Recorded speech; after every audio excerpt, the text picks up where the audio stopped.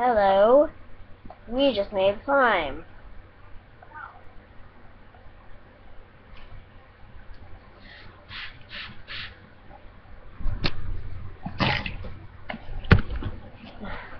So, if you wanted to know how to make slime, this is how you do it. You'll need a cup, Or a bowl. a cup or a bowl, whatever. Um, some Sta-Flo, liquid starch, whatever you want to call that.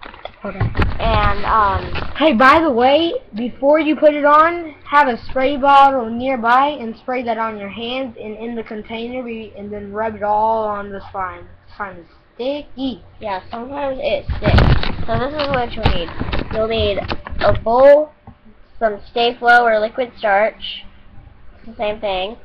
And you'll also need some glue.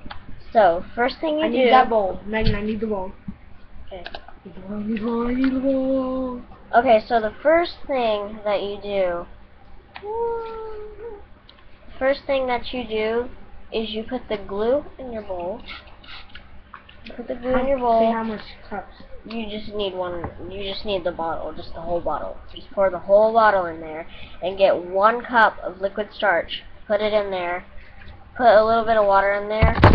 Knead and knead it with your hands until it no longer sticks to your fingers. So that's basically how you make it. And Comment, comment below how it did, how it worked. how it worked, and how and what it looks like.